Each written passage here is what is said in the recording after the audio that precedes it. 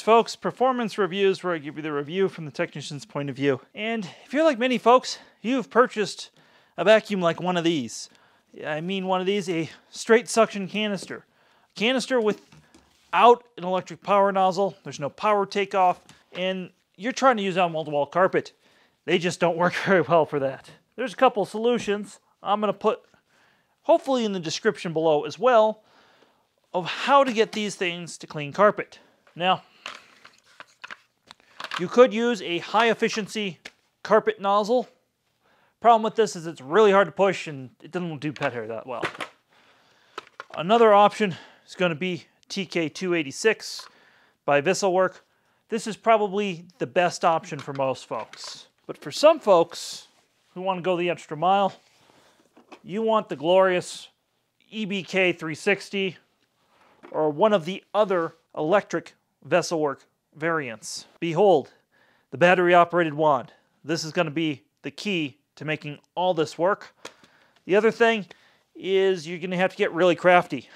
This wand is 32 millimeters or inch and a quarter, which means vacuums that are 34 millimeters are not going to work with this, or vacuums that are female are not going to work with this.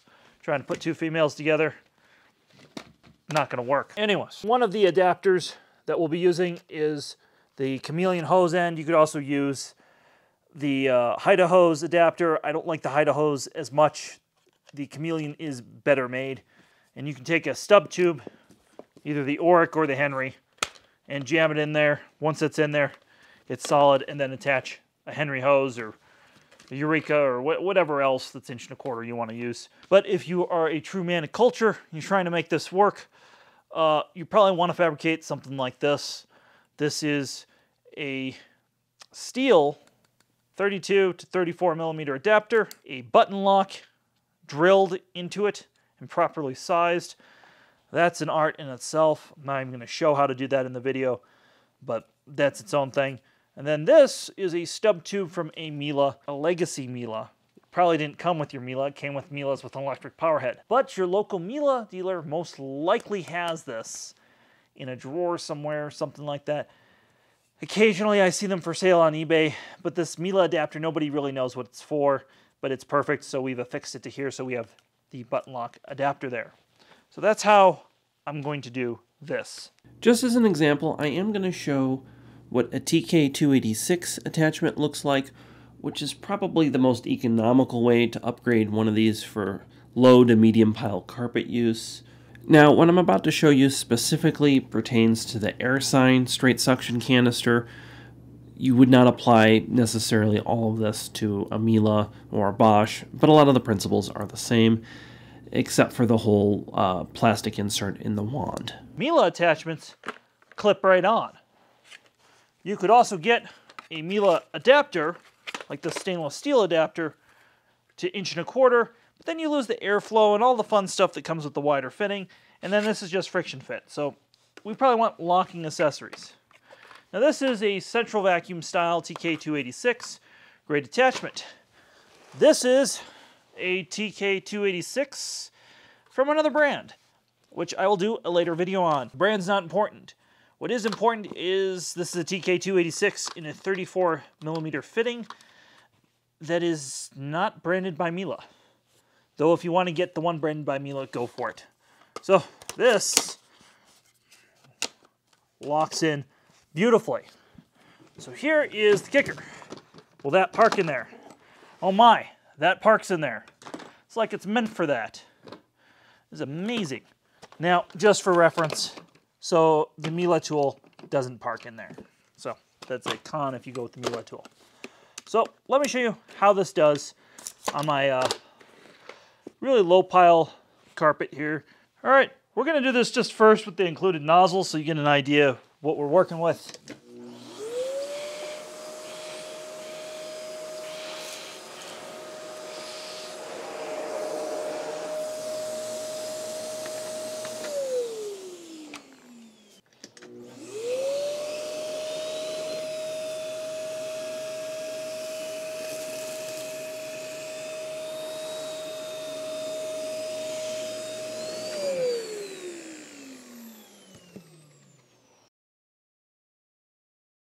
All right, you'll notice I zoomed out. I did that for a couple of reasons. One, I wanted to show this breakfast cereal that got snowplowed by this. Two, I want to show the results from the TK286. And I hope it comes out on camera, but there is still a little bit of sand here. The breakfast cereal got plowed, and there's still a bunch of animal hair here. The TK286 did great, except for where the belt is, which is normal. If you overlap when you vacuum, that's just fine. But that's the solution for wall-to-wall carpet, or if this machine is hard to push, which is, let's throw a TK286 on the end of it. Well, now I've switched to the battery-operated EBK360DC, and this is an expensive piece of kit, but it is worth it. In my opinion, this is worth every penny, but it is a little on the pricey side because it was originally intended for central vacuum installs, so price doesn't so much matter there. But this is one of the latest things to hit the vacuum market in general. So let's see how it works on the end of the air sign.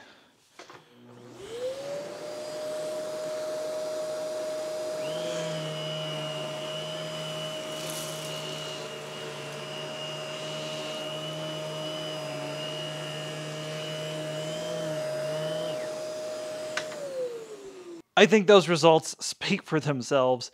It got the breakfast cereal, the pet hair, even got most of the sand. There's still a little bit of sand left embedded. I'm not sure the air sign really has enough power to suck through a 14 inch nozzle. However, what is cool about this, and I have a whole video on this if you want to know the details of the EBK360. Once you have one of these wands set up with the adapters,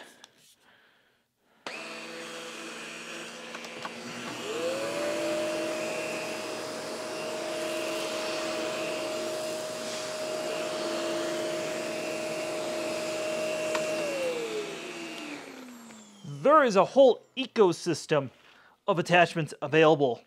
So really, if you didn't like the way 14 inch nozzle, you could buy a 12 inch nozzle. I have a video on those, again, each individual nozzle separately.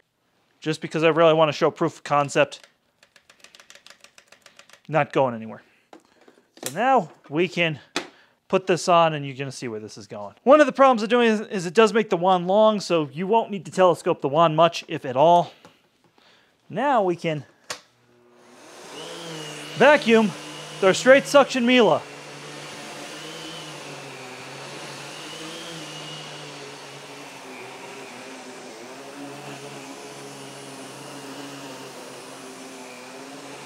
But heck, maybe you need a power nozzle and you don't own a Miele. Well, for whatever reason, Miele and Bosch share the same fitting. So, uh,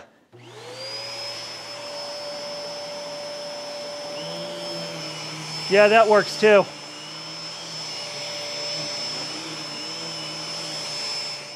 That's how you make an EBK 360 DC fit just about anything.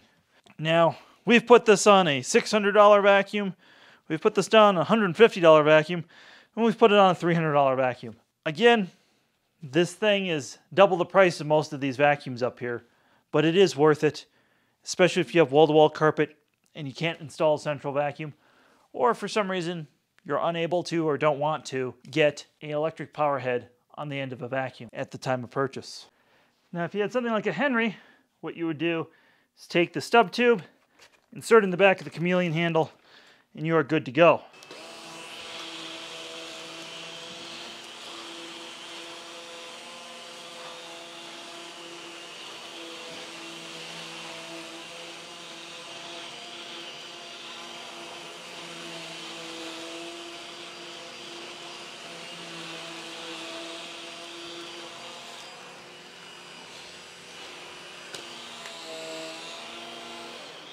That's right. The other thing that can be done with this Wessel-Werk battery operated wand and nozzles you can put on the end of a cordless canister and go to town and never have to worry about a cord again. Well, I hope this helps somebody who has a straight suction canister and wants to put an electric power head on it.